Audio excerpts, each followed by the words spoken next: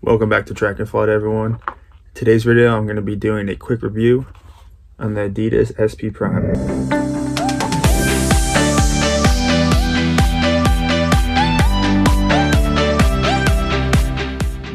You can already tell this is a PR spike. The design is sick. Way cooler than the other ones.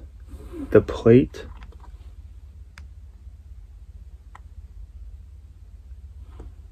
That's a sweet plate super stiff.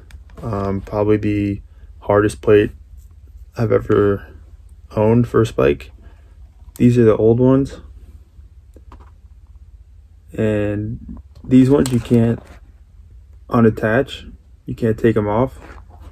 In this new version, you can take them off, which is important because in some meets I would come with this one. You know, sometimes they said, oh, they're like kind of like Christmas trees. And they said, "Oh, you can't use our track." So I'd have to like ask them politely, like, "I have no other spikes. Can I please compete with them?" And they would let me go. So now I don't got to stress because these are on a you can unattach these. Super important. The opening is kind of like a sock now. There's no tongue.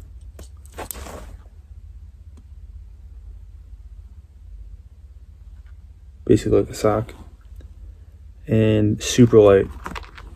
One of the the lightest spike I've ever owned. Honestly, this is the best bike on the market. They were $179 on Eastbay, but I had a 25% off coupon. So do the math. I wouldn't buy them full price. I would try to find them at a lower price. Basically, if you're trying to run fast times, I highly recommend getting these spikes. Can't wait to use them. I'm hyped up. That new spike feeling's the best. And if you get these spikes, let me know. Drop a comment below. Make sure to like and subscribe. And now here's a couple angles of the shoe.